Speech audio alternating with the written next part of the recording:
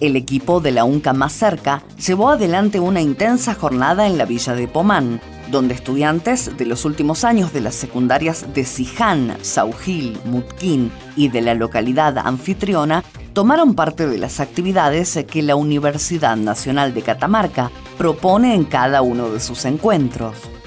En esta ocasión, fueron alrededor de 100 chicos los que se sumaron, participando de los concursos de talentos, de cortometrajes y de producción literaria. Una oportunidad para expresarse sobre las temáticas que les interesan y preocupan. Que Catamarca tiene una universidad nacional que es pública, que es gratuita, que es de todos en realidad.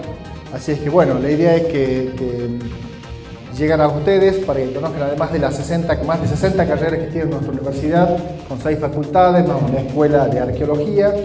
Además, sepan que tiene servicios, que son para ustedes también. La razón de ser de la universidad es que jóvenes como ustedes puedan ingresar, si así lo deciden, y tengan una profesión.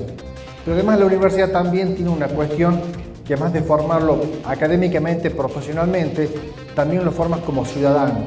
También es una escuela de democracia, porque nuestra universidad, la Universidad Pública Argentina, es cogobernada.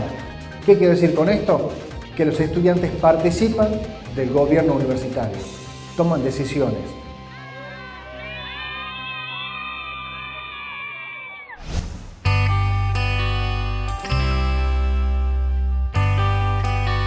El trato con los profes por ahí es mucho más personalizado, está bueno.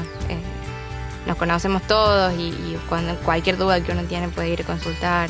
Es distinto el trato. Aparte son docentes que no los ves solamente en una materia, los volvés a ver a lo largo de toda la carrera. Nos hacen un seguimiento, nos buscan, tratan de, que sigamos adelante, los profesores nos incentivan a seguir estudiando. Yo puedo tener el contacto directo, me puedo sentar con el profesor y él me va a explicar a mí. Así que no hay drama en aprender. Si uno no aprende es porque no quiere.